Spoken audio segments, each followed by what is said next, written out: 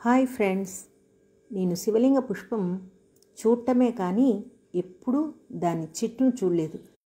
అది ఎలా ఉంటుంది వృక్షమా లేకపోతే తీగనా అనే విషయాలు నాకేమీ తెలీదు. కానీ ఆ చెట్టును నేను నిన్ననే చూడటం తటస్థించింది. ఎక్కడంటారా?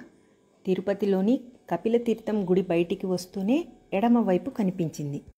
చూడటానికి కొంచెం విచిత్రంగా అనిపించి దగ్గరికి వెళ్ళి చూశాను. అది ఒక పెద్ద వృక్షము. కాండం మొదల నుంచి కొంతవరకు ఏవో తీగలు దానికి పూలు కనిపించాయి.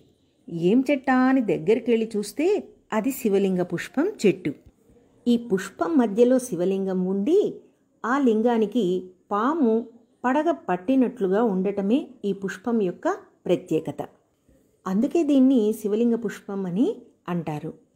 ఈ పూలు తీగలకు పూసాయేమో అని దగ్గరికి వెళ్ళి చూస్తే వృక్షపు కాండం నుంచి తీగలు ఉద్భవించి ఉన్నాయి. భగవంతుని సృష్టి ఎంత అద్భుతం కదా ఇన్ని రోజులకు నాకు ఈ పుష్పం ఎలా పూస్తుందనే విషయము తెలిసింది. అందుకే వీడియో తీశాను. ఇక మీరు కూడా ఆలస్యం చేయకుండా చూసేసేయండి.